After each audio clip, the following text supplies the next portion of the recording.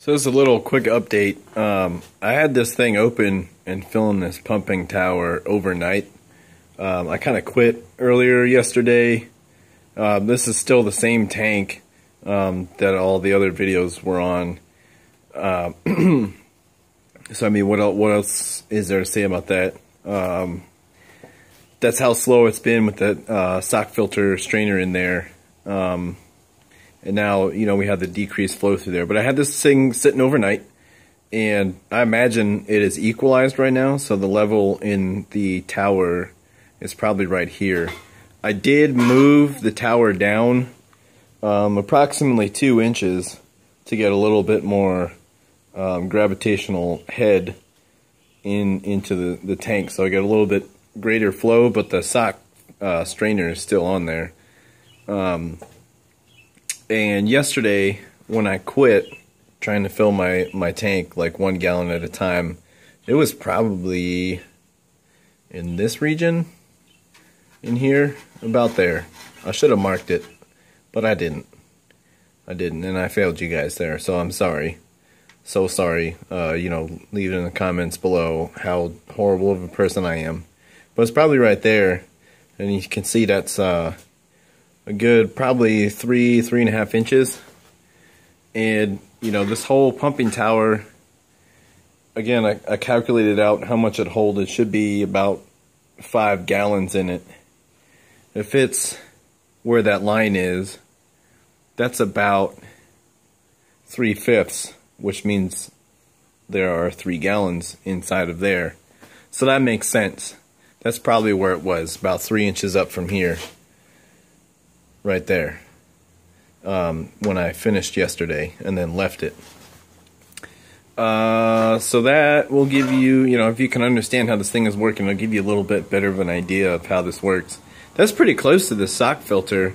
I'm probably going to wheel this out, um, pump what's in the in the tower into the truck, and then see if I can get to the sock filter to remove it, and then uh, you know see how fast even this will flow out. This is a it's going to be pretty much the worst case scenario. Like, give me an idea of what the flow rate is going to be without the the sock filter on there into the pumping tower. It's going to give me the worst case scenario with the lowest um, gravitational pumping head into the tower, and it's only going to fill up probably not much at all, maybe two gallons. I might get it level up to here inside of this tower because again it's just gravity that's putting it in there and it's going to just equalize that's the minimum that I can expect unless I were to put like a and I might get a vacuum pump at like Harbor Freight or something to uh, draw the air out of this chamber and then it will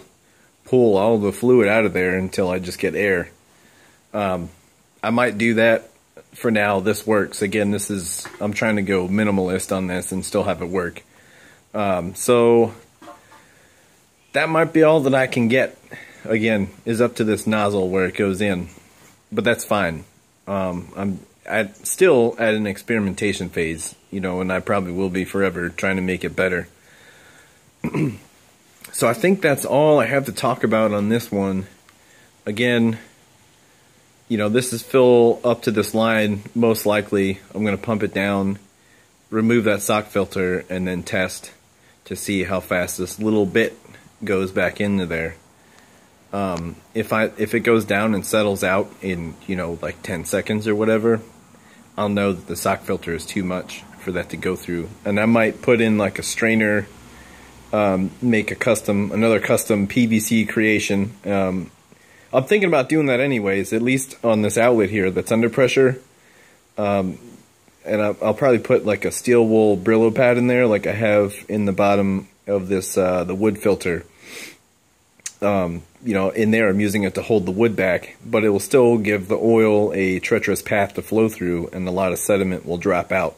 And then I put a little valve on the bottom of it so that I can drain it out. You know, if I notice through the clear tubing that some stuff is still going beyond it and not and not trapping it, but it will. You know, it's one more one more step. I on this end of it, on the pressurized side, it's a much better deal because I can ramp up the pressure if I want to, and it's definitely going to get through.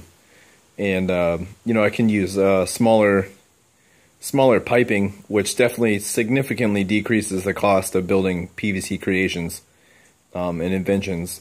Um, so that will that will be pretty cheap. That'll probably cost me about twenty dollars to make that thing. I might do that and put it in there, um, and I might make another one because flowing through the Brillo uh, steel steel pad, scrubbing scouring pad is going to be uh, fairly easy for the the fluid to flow through, vice the um, you know the sock.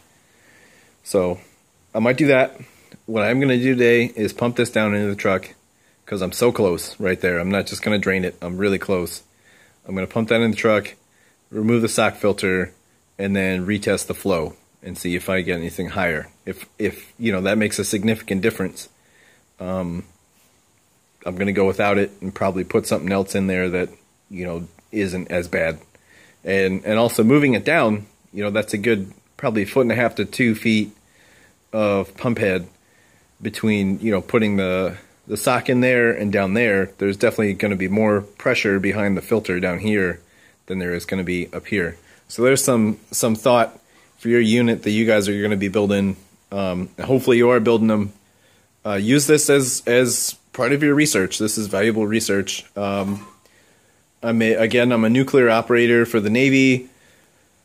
I know a decent bit about these. Uh, my specific rate is electrician's mate, but I still have to learn all the the piping systems and the flow. I have to go to school for two years just to learn this kind of stuff. So it's pretty knowledgeable. Count it, count it as uh, you know reference material for what you're doing.